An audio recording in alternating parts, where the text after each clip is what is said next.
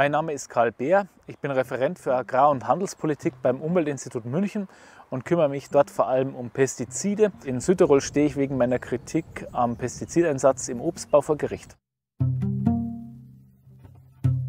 Ich bin heute in Rohr in Niederbayern auf einer Streuobstwiese, die zum Biohof Stöckel gehört. Und wir schauen uns hier an, wie ein Obstbau ganz ohne Pestizide funktionieren kann mit schönen Hochstamm-Obstbäumen. Wir sind die Familie Stöckel, Georg und Marianne Stöckel, Bioland, Streuobstbauer. Unser Betrieb ist seit 2000 äh, umgestellt auf Öko und schwerpunktmäßig ausgerichtet auf den Anbau, die Verarbeitung und die Vermarktung von Streuobst, überwiegend Äpfel, von den Äpfeln haben wir ungefähr 70 bis 80 verschiedene Sorten.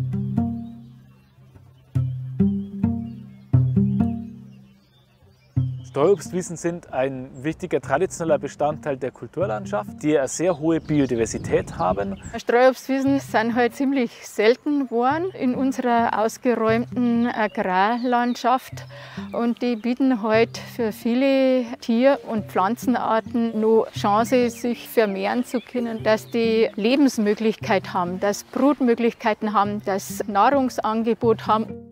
Es wird nichts gespritzt, wir haben auch keinen chemisch-synthetischen Pflanzenschutz. Darum fühlen sich Tiere bei uns da wohl. Wichtige Insektenart bei uns da ist die Biene.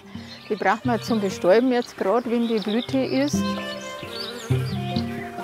Strauchswiese ist immer auch ein, ein, Biotop, die wird normalerweise auch im Zusammenhang mit äh, zum Beispiel Naturschutzprojekten oder Bildungsprojekten oder auch staatlichen Fördermitteln gemacht. Strauchswiesen sind ja so definiert, dass man da äh, in aller Regel keine Pestizide einsetzt.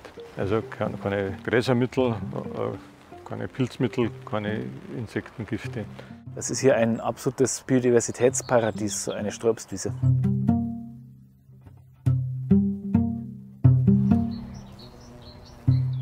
Pestizide sind eine Gefahr für die Umwelt und für die Menschen. Das ähm, ist erst einmal so, dass mit den ganzen Mitteln, die ich einsetze, ich ja nicht nur Schädlinge töte, sondern immer auch Nützlinge.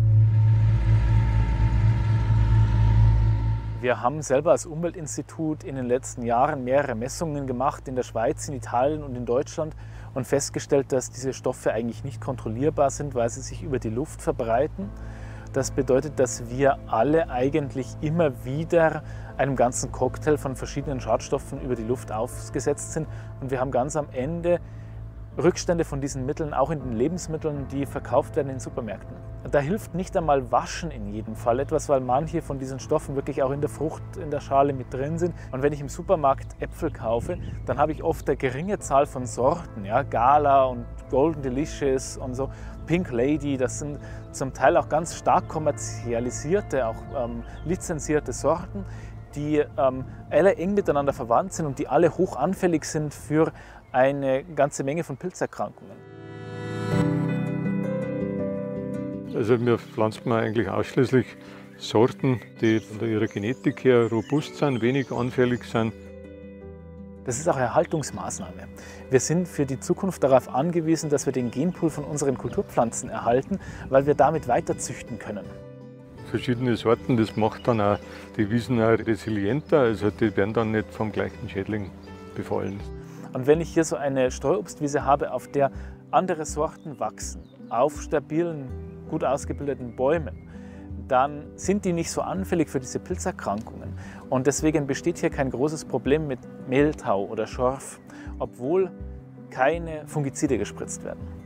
Und das führt aber dann trotzdem dazu, dass die Äpfel nicht so schön sind, wie die, die ich im Supermarkt normalerweise kaufen kann. Der hat halt mal da ein Tipfel oder, oder da ein Fleckerl, aber das ist nicht ausschlaggebend für die Qualität des Produkts. Vielleicht ist das sogar ein positives Qualitätsmerkmal, wenn man ab und zu einen kleinen Schorffleck auf den Äpfeln sieht. Und da muss auch der Konsument oder die Konsumentin daran arbeiten, nicht immer das schönste Produkt zu kaufen.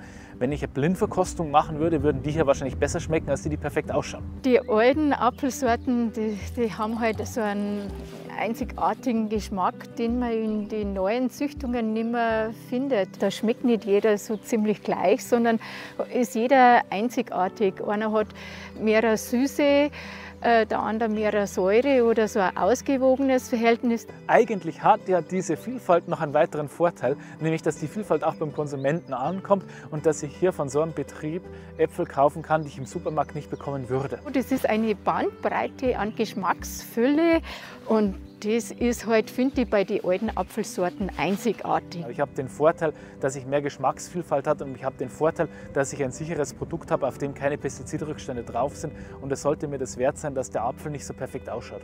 Es gibt Charakterköpfe und es gibt Äpfel mit Charakter.